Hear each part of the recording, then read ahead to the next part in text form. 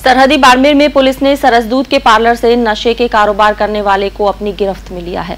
गिरफ़्तार शख्स से गांजा बरामद भी किया गया है। बाड़मेर कोतवाली पुलिस ने बाड़मेर शहर के बीचों बीच रेलवे स्टेशन के पास छापेमारी की कार्रवाई की। सरहदी बाड़मेर में पुलिस ने सरस दूध के पार्लर पर नशे के कारोबार को करने वाले को अपनी गिरफ्त में लिया है। गिरफ़्तार शख्स से गांजा भी बरामद किया गया है। मुखबिर की इतला पर बाड़मेर कोतवाली पुलिस ने बाड़मेर शहर के बीचों बीच रेलवे स्टेशन के पास छापेमारी की कार्रवाई की।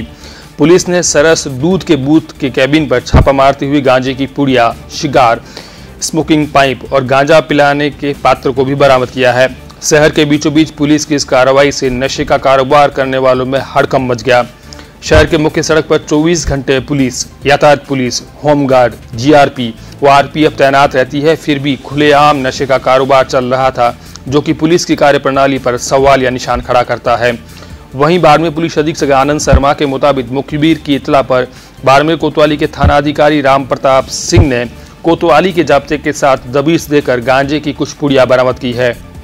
पुलिस ने एनडीपीएस एक्ट के तहत मामला दर्ज कर आरोपी से पूछताछ शुरू कर दी है।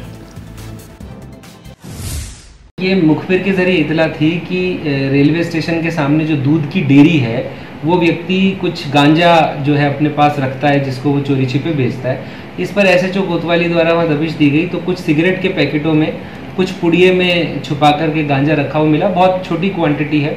परंतु उसको जब्त करके और एनडीपीएस एक्ट में प्रकरण दर्ज करके उसके खिलाफ कार्रवाई की जा रही है। सर इसी प्रकार कार्रवाई आगे भी निरंतर हाँ बिल्कुल इसको करते रहेंगे निरंतर। बड़े स्तर पे बड़े सीजर्स पे ध्यान रहता है और ये कई बार छोटे छोटे छुप जाते हैं। तो अब एक अभियान चलाकर ऐसे छोटे जो हैं इनको विशेष तौर पर टारगेट करेंगे।